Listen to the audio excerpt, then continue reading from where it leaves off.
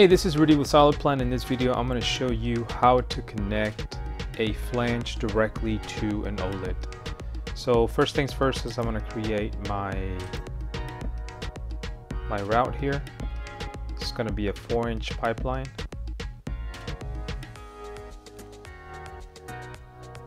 Yes, that's fine.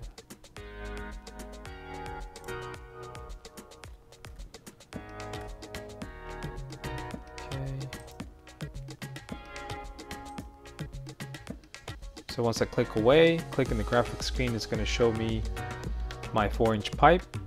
And then while I'm inside the edit sketch mode, you can see on your status bar down here, um, it says under define. But you can also tell that uh, you're in the edit sketch mode by this icon up here that says exit sketch mode. So you have to be in the third level, which is the edit sketch mode. What you'll want to do next is go to component and then click olet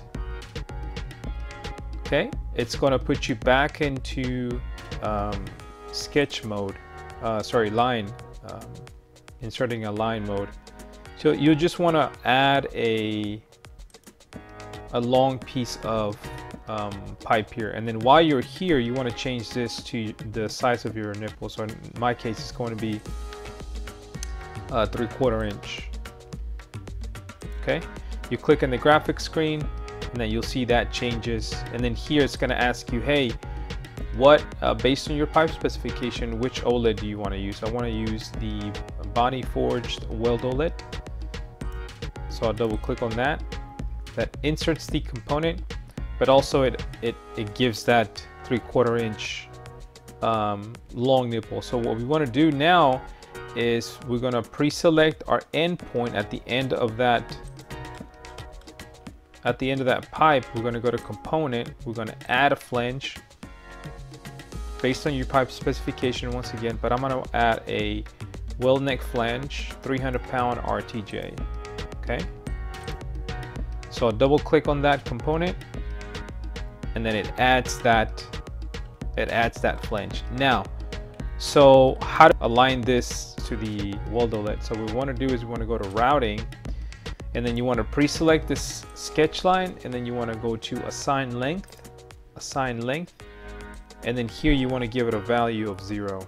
Now watch what happens when we hit apply.